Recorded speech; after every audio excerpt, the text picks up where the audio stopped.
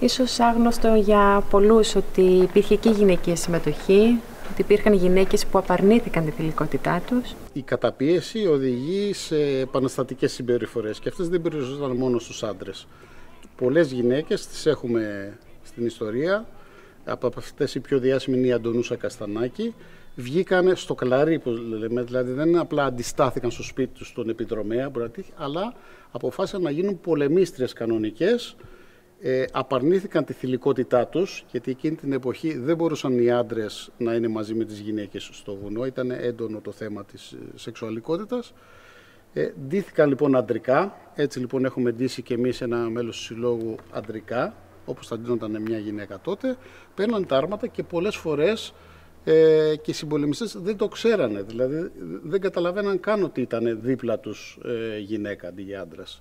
Μάλιστα ο Χατζημιχάλης Γιάνναρης λέει είναι περιστατικός στα πνευματεύματά του, ότι ήμουν λέει σε ένα σπίτι που το είχαμε αρχηγείο και όπου ήμουν μέσα με τους άλλους οπλαρχηγούς μπήκε ένας στρατιώτης και πήγε κατευθείαν στη γυναίκα του σπιτιού που είχε ένα μωρό στην αγκαλιά και την αγκάλιασε και τη φίλησε σχεδόν λέει σηκώθηκα όρθιος από οργή να τον τιμωρήσω επί τόπου γιατί δεν υπήρχαν τέτοια διαχειτικότητες εκείνη την εποχή άντρες κτλ. Αλλά λέει, είδα λέει ότι όλοι οι οπλαρχηγοί χαμογέλασαν και κάποιος λέει Αντωνούσα πήγαινε έξω. Ήταν η Αντωνούσα Καστανάκη, ντυμένη άντρας, πολεμίστρια δηλαδή με πλήρη οπλισμό και δεν μπορούσε κανείς να την ξεχωρίσει. Λίγες γυναίκες, ε, στη μάχη, ναι. όμως υπήρχαν και κάποιες άλλες γυναίκες που έμεναν πίσω. Ναι. Με ποιο τρόπο βοηθούσαν ναι, αυτές οι γυναίκες; Ε, ο αγώνας ήταν παλαϊκός, ας πούμε, σε όλες αυτές. Δηλαδή, ξέρουμε ότι πάντα οι γυναίκες θα κουβαλούσαν το νερό, τα πολυμοφόδια, δένανε τα φυσέκια, δηλαδή ε, παίρναν την ποσότητα του παρουτιού που χρειαζόταν από πριν με μια μεζούρα και μαζί το βόλι που το είχαν χιτεύσει, τα τυλίγανε στο χαρτί με τον τρόπο έτσι, να είναι ένα έτοιμο φυσέκι που θα πάει στην παλάσκα ή στο σακούλι και τη στιγμή τη μάχης θα το σκίσει. Αυτό είναι ένα του φέκι της εποχής, κριτικής κατασκευής. Τα όπλα τότε ήταν εμπροστογεμή. Δηλαδή δεν ήταν όπως τα σημερινά που παίρνουμε τα φυσίγια και τα βάζουμε από πίσω και υπάρχει ένα κλίστρο. Πώς δουλεύανε τότε αυτά; Έπαιρνες ένα φυσέκι, δηλαδή την ποσότητα από πριν του μπαρουτιού μαζί με το βόλι και το χαρτί που ήταν τυλιγμένο, το έσκιζες με τα δόντια σου. Τώρα, έπρεπε να βάλεις μπαρούτι σε δύο σημεία. Εδώ που είναι ο κόκορας και αυτά τα όπλα είχαν τσακμακόπετρα και γι' αυτό τα λέγανε ανιχάτα στην Κρήτη. Ήταν σαν τον ήχη του Βολόσιρου. Εδώ λοιπόν που θα χτυπήσει η τσακμακόπετρα απέναντι είναι ένα τσαλωμένο σημείο το οποίο καλύπτει μια λακκουβίτσα. Στη λακκουβίτσα αυτή λοιπόν ή θα βάζαν λίγο μπαρούτι από το φυσέκι ή είχαν μια άλλη μπαρουτοθήκη με πιο ψηλό μπαρούτι. Θα χύναν λοιπόν λίγο μπαρούτι εδώ και όταν αναφλαγεί αυτό το μπαρούτι, εδώ στην άκρη της λακκούβας έχει μια τρυπίτσα.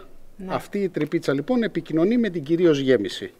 Αφού λοιπόν βάζαν λοιπόν το μπαρούτι εδώ και το καλύπτανε, σηκώνανε το όπλο, βάζανε το υπόλοιπη ποσότητα του μπαρουτιού μέσα το βόλι μαζί με το χαρτί και με την τουφεκόβεργα το, τη βάζανε μέσα και το μπιστιάζανε. Λοιπόν, μετά σκοπεύανε και τώρα δεν έχουμε μπαρούτι βέβαια, αλλά χτυπώντας θα χτυπήσει η τσαγμακόπετρα στο ατσαλωμένο μέρος εδώ, θα βγει μια σπίθα και ταυτόχρονα θα το σηκώσει. Η σπίθα αυτή λοιπόν όταν το σηκώσει θα πέσει στον μπαρούτι, θα το αναφλέξει, θα κάνει φσουτ και θα μεταφερθεί η φωτιά από την τρίμα μέσα, θα κάνει το μπουμ. Φσουτ μπουμ.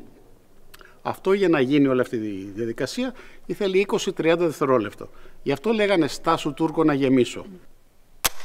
Το επόμενο σύστημα που ήρθε από το 1850 περίπου και μετά ήταν με καψούλη που λέγεται κρουσιφλεγές.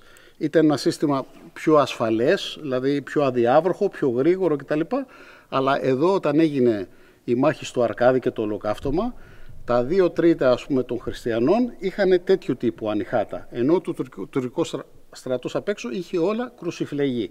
Γι' αυτό λέει ότι όταν έπιασε το ψηλόβροχο, όσα όπλα ήταν χριστιανών εκτεθειμένα, ε, απενεργοποιήθηκαν. Δεν μπορούσαν, έπαιρνε νερό μέσα τον παρούτι και δεν μπορούσαν να δουλέψουν, ενώ των Τούρκων δεν είχαν πρόβλημα. Τώρα, όταν του φέγγιζες πάρα πολύ ώρα, υπήρχαν κάποια γιατροσόφια της εποχής για τα τουφέκια, το οποίο είναι ένα αστείο, καλό είναι να το πούμε. Ε, κουβαλούσαν πάντα στο σακούλι τους μέσα ένα-δυο κρεμμύδια τα οποία λέει είναι για τον κατευνασμό της πείνας, στο ζόρι τρώγαν τα κρεμμύδια, μπορεί να ήταν και γιατρικό σε κάποιες περιπτώσεις, αλλά κυρίως όταν του φεκούσε πολλή ώρα, άναβαν οι κάνες. Και τι συνέβαινε, πήγαινες να βάλεις τον παρούτι και πάθαινε αυτανάφλεξη. Το κρεμμύδι λοιπόν ήταν ένας φορέας υγρασίας, το οποίο τρίβοντάς το στην κάνη έπαιρνε αυτή την κάψα και μπορούσε να ξαναλειτουργήσει το τουφέκι. Να ρωτήσω και αν υπάρχουν στοιχεία Ναι. που μ- όταν δεις ένα όπλο πάει το μυαλό σου αμέσως στο τι είναι κριτικό; Ναι. Ε, αυτή είναι ένα πολύ τυπικό κριτικό τουφέκι, το λέμε λαζαρίνα, επειδή τα πρώτα τέτοια τουφέκια είχαν κάνες συνήθως από το Λαζαρίνο Κομινάτσο, ήταν ένας κατασκευαστής ε, Ιταλός. Μετά παίρνανε και κάνες από οπουδήποτε αλλού βρίσκανε, κυρίως ε, βέλγικες που πηγαίνανε στην αγορά της Μασαλίας που εμείς πηγαίναμε το λάδι και αγοράζαμε ε, εξαρτήματα για τα όπλα. Τα προτιμούσαν οι κριτικοί ψηλά στον πόη τους, Γι' αυτό λέει στη μάχη του, Φολί, του Φαλήρου που πολεμούσαν οι κριτικοί με τον Καραϊσκάκη, 300 άτομα και σκοτωθήκανε, τους καταλάβαν λέει ότι έρχεται κάποιοι που είναι κριτικοί γιατί είδαν από μακριά κάποιους με μακριά του φέκια. Και σου λέει κριτικοί είναι αυτοί, προτιμούσαν τα ψηλά του φέκια.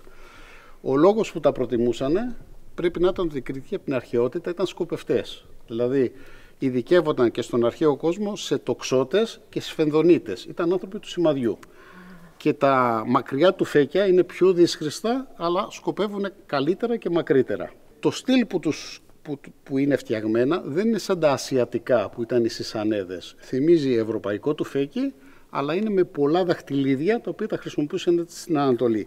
Και τα πιο απλά φτωχικά του φέκια είναι ε, με μπρούτζινα τα δαχτυλίδια και χωρίς πολλή διακόσμηση. Τα πιο καλά όπως αυτό είναι ασημένια τα δαχτυλίδια και διακοσμημένα από τους ίδιους μάστερους που κάνουν και τα κριτικά μαχαίρια, τα σημαίνια, τα θικάρια τους.